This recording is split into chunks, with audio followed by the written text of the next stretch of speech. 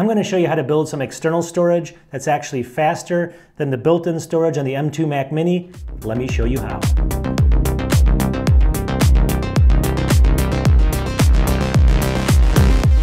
Welcome back to the channel.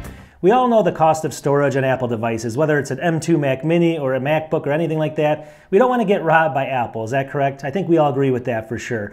Anyways, you know, adding, I think going from the base 256 gigabytes all the way up to 512 is an extra 200 bucks. Going up to, I believe, one terabyte is 400 bucks. Going up to two terabytes is $800. That's actually more than buying a M2 Mac Mini by itself, the base model, and a lot more actually. So why would you do that when you can build external storage like this? So I wanted to go ahead and show people how to do this and how fast this thing is. This thing's blazing fast. What are the parts you should use and why you should do this? So sit back and relax and we're gonna go through exactly exactly how to build your own storage that's faster than the built-in M2 Mac Mini storage for a lot cheaper. Let's get into it.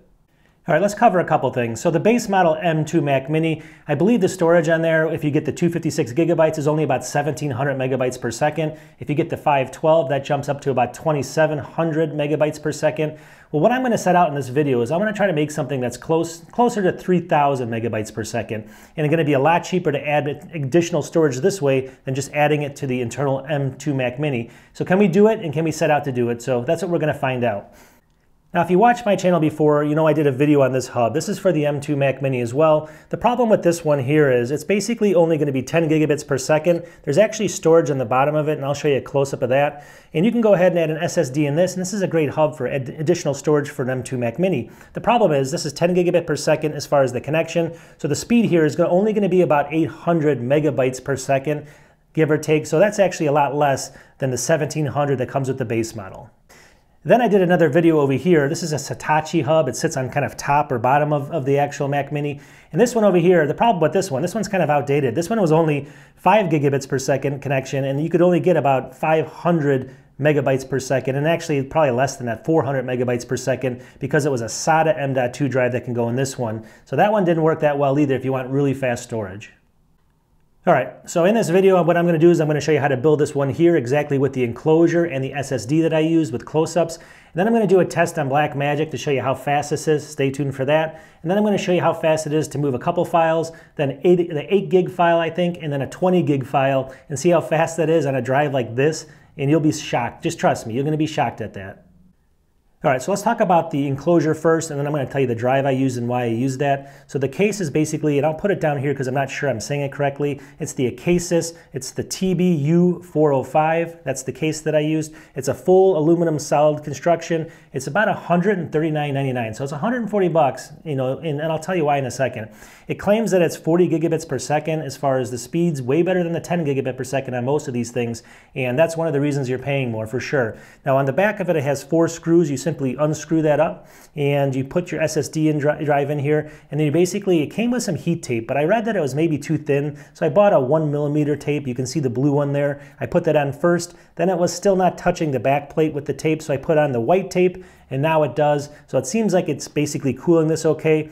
These are gonna get warm to the touch no matter what. They're gonna get slightly, maybe even hot to warm because you're using a Gen 4 or Gen 3 M.2 NVMe drive. Those always get hot. As long as the tape is touching the back, I think you'll be fine though but you can experiment how you want to cool this. So that's not what this is all about. But overall, this is a great device. Again, it takes Gen 4 or Gen 3 drives, and uh, but there's specific drives that this thing needs to take to get the speeds we're going to talk about and what those speeds are. So let me explain the drive now and why I chose it and what's the cheapest option you can get to get those speeds. All right, so this is the drive I use, and I'll get into that in a second. But what, what this company, they recommended on their website was basically the Samsung 980 Pro, all right? Well, you know, can be one terabyte, two terabytes, and that's actually gonna be, I think, about 140 bucks. So it's steep, you know, that drive's pretty expensive. And then there's also, they said Western Digital work really well, and they said the SN850 or the SN850X, and again, that drive's about 110 bucks, 109 bucks, so that's expensive. So I went online and I started researching this. What are people, what have they used with this enclosure, and what speeds have they gotten? And the drive that I found works the best is right here. This is basically gonna be the Western Digital Black it's called the SN770, and it claims it's up to 5150 as far as megabytes per second. I'll show you close-ups of the drive here and the box and everything. So I picked this one up. Now, why did I pick this up? Instead of spending the 130 bucks on a terabyte for the Pro version of the Samsung drive or the other one that was 110 bucks, Yeah, I mean, believe it or not, I actually picked this up. Let me show you right here on my screen. I got this for 59 bucks. So you can look on my screen right here. You can see $59. It's on sale right now. It's actually 54% off. So I'm not sure it's going to last like that. So you may have to come back and, and try to find it for that cost later. But anyways, so that's the drive I picked because I found out that this drive is very successful at getting those speeds and you're paying a lot less there. Obviously paying 59 bucks versus paying 130 or 110 bucks, you save a lot of money. All right, let's look at my screen over here. We're going to do this Blackmagic test. So first thing I'm going to do is go ahead and just make sure I select the correct drive. So I'm going to select target drive. I'm going to go over here and I'm going to click on the Western Digital Black right here. You can see it. Click on that. To go ahead and open that up. So now we're actually on the Western Digital Black, the one I just installed, the external enclosure. And we're going to go ahead and run this test and let's just see how fast this is. As you can see, it's 2745 on the writes, 2740 on the reads. Again, it's running a second time. Look at these speeds, they're pretty incredible.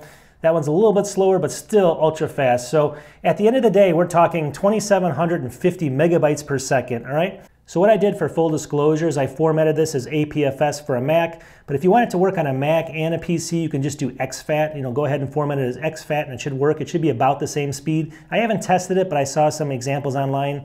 Um, and so you can see 2,750 megabytes per second. Now, again, the base model M2 right here is basically going to have about 1,700 megabytes per second. So that's a 1,000 megabytes per second faster. And even the 512 gigabyte version is only going to be like 2,700, somewhere in that range. So this is probably actually even faster than that second version up. So this is going to be capable of doing anything like video producing or anything like that if you want to do it off the drive. It's actually really good at that. And so you can't go wrong with something like this because it's just so ultra fast. And it doesn't get incredibly hot as long as you have it touching the back plate.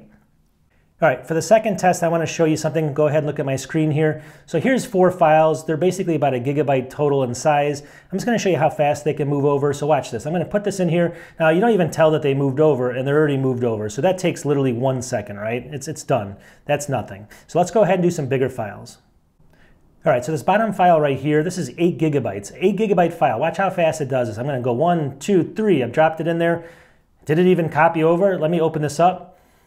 There it is, 8.9, 8.19 gigabyte file, it's done. All right, now I'm gonna take both of these files right here, and that's gonna equal about 20 gigabytes of size, 20 gigabytes.